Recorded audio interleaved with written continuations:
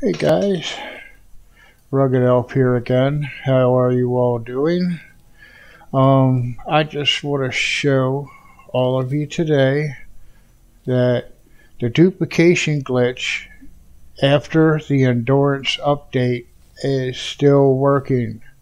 So just want to give you a little sample of that and just let you know that things are going.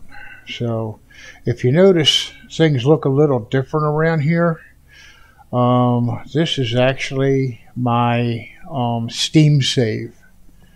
My other videos I've made have been on my Xbox.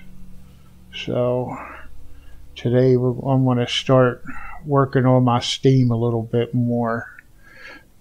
So come on in here and I just found a new ship uh, I'll show you that when I get done this, but it's for I like it. It's pretty cool. I got some weird ships on this save, so it works for me. So I'll put my stuff in. Let's get over to the build menu. Pick your select. Select your item to move. A little bit of adjustment. And bam. I'll move him.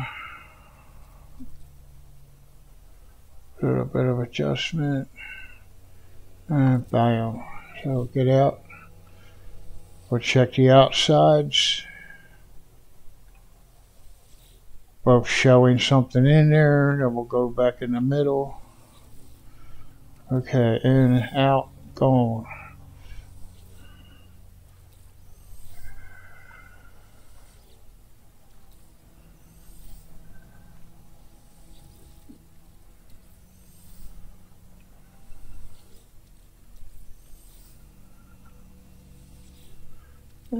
Six. That should be what I need. Okay, so go back out. Let's move them back out to where they belong.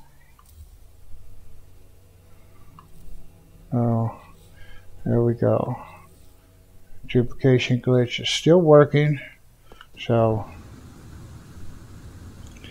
I found this little gull wing. It doesn't have the large nose on it. And so I had to name my new ship. My name it was Turd Blossom.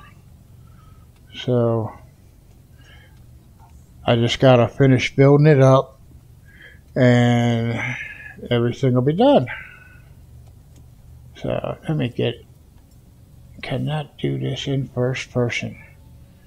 So just to let you all know, glitch is still working good, and I will see you soon with some more videos. So, thanks, guys. I'll see you again.